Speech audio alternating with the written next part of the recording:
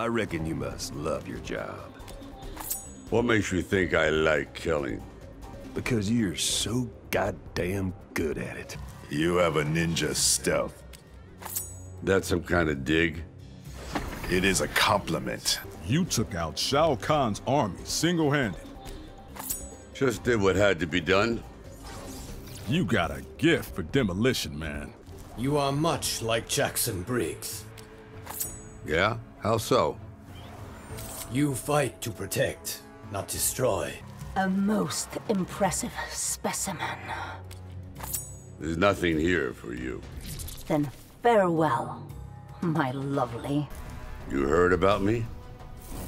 That your skills are formidable. The benefit of being a specialist. You survived the hive. Been through worse, in worse places than that. Truly, you are hard to kill. I have heard stories about your skills. Here to see if they're true? Whether you intend to employ them against us. You know, sharing your story might be therapeutic. And making it a movie would make you serious cash. Whoa, John! It's a win-win. You seem like a good soldier.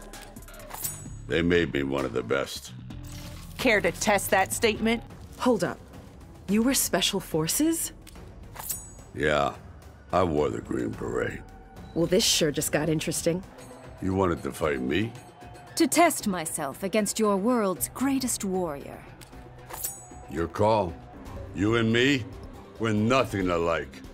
Now that's bullshit. We're both killers. But I don't kill for the thrill of it.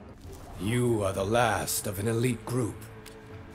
Which is why I'm fighting until it's over.